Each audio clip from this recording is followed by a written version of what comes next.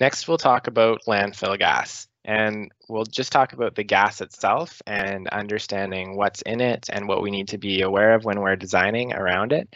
Uh, and then we'll dump, jump into the landfill gas collection system.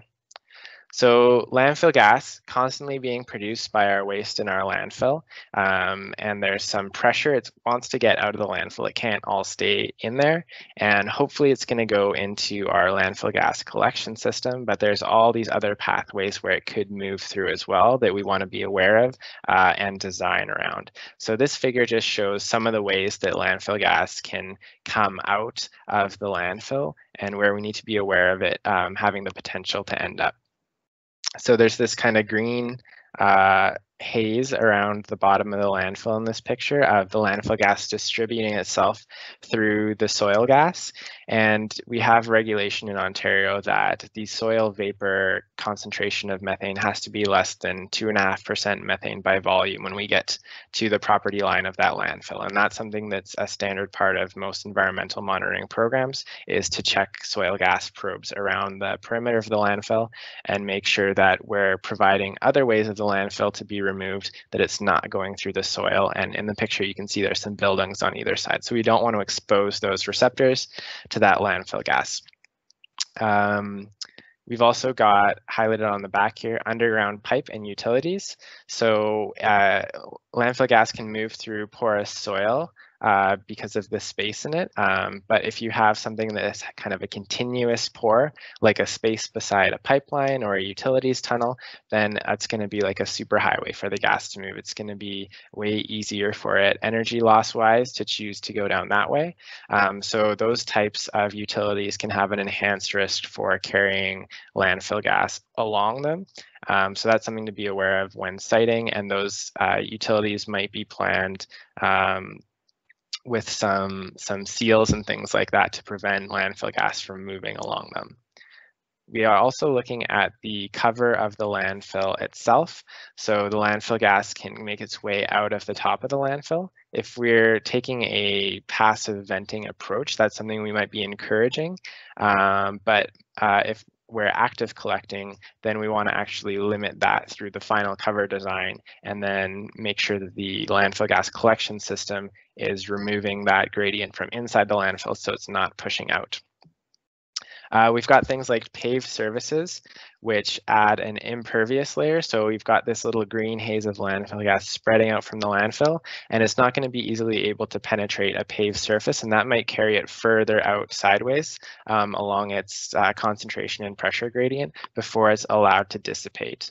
Um, so that's something to be aware of, things that will help it keep moving and spreading out versus pathways that will let it get out. Uh, and then in the far right side of the picture here, you can see it's spreading out to another building and there's a surface crack or fissure highlighted.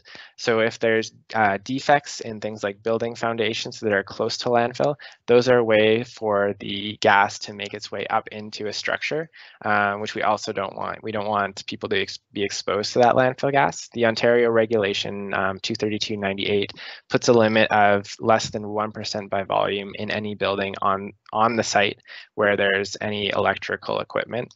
So we want to design around that, and I'll show you a little bit later uh, just some um, principles to apply when designing buildings that are going to be close to landfills or on landfills. And we want less than 0.05% in any buildings off-site. So less than 2.5% at the edge, and then less than 0.0 5% in the buildings. So all um, parameters set to limit the amount of gas coming off-site, which would compel you as the landfill operator to design ways of pulling that gas out of your landfill or letting it out in a controlled manner uh, and not allowing it go out and affect your neighbors. So there's a few risks to landfill gas. One is explosion and flammability. So gases, um, just in general, have a range in which they're flammable. So where they're at really low concentration, the mixture would be too lean to ignite. Where they're really high in concentration, the mixture is too rich to ignite. In the middle, there's a good ratio that can actually ignite and explode. So that's the range that we want to avoid. For methane, that range is between 5 and 17% by volume. 5% is known as the lower explosive limit, and 17% is known as the upper explosive limit. So the general approach basically is within the landfill, we want to keep the concentration to above the upper explosive range. So we want to avoid pulling air down into the landfill, which we talked a little bit about uh, when talking about um, landfill well field balancing when we were talking about landfill gas utilization. We'll touch on it again in more detail in this chapter. So avoid pulling air into the landfill. And then outside the landfill, we want to stay below the lower explosive limit. So prevent landfill gas migration or give pathways to vents such that we don't get um, up into that explosive range in between.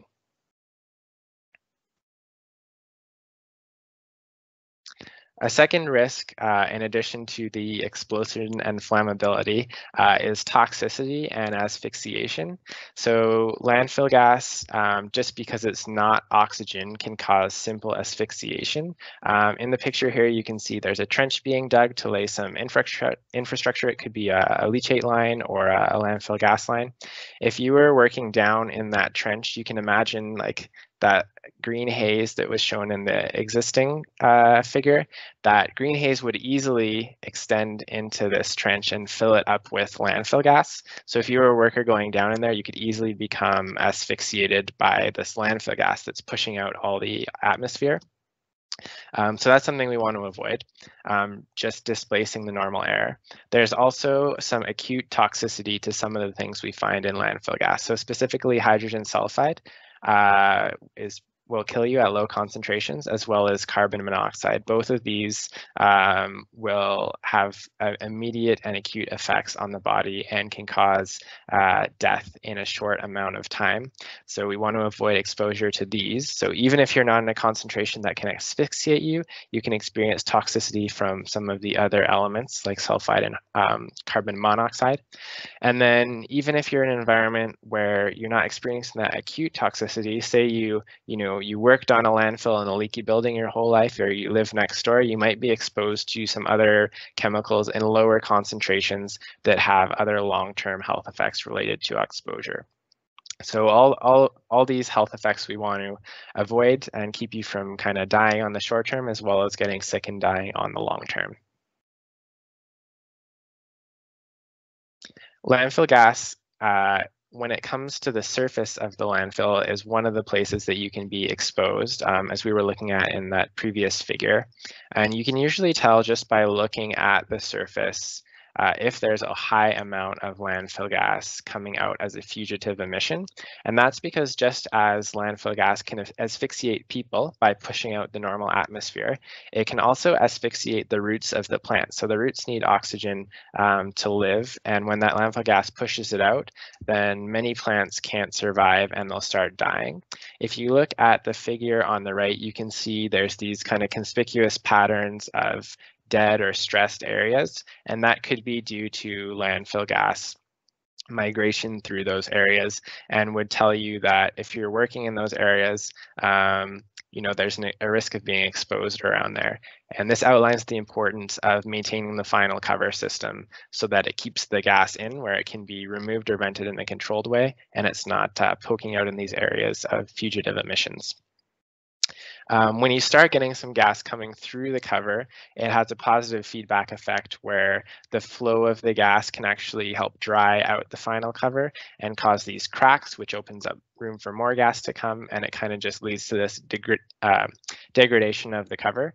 Um, so in the, the second picture, there's a little field book for scale. You can see a big crack that's developed in a landfill from landfill gas migration. So these are some ways that landfill gas can come out in uncontrolled ways uh, and have negative effects on people around them as well as the, the cover itself. And we talked about for Ontario, vegetation is legislated to be part of the cover.